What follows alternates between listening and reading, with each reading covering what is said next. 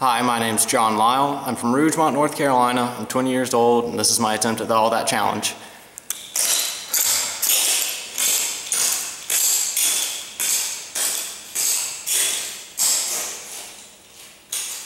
Ready.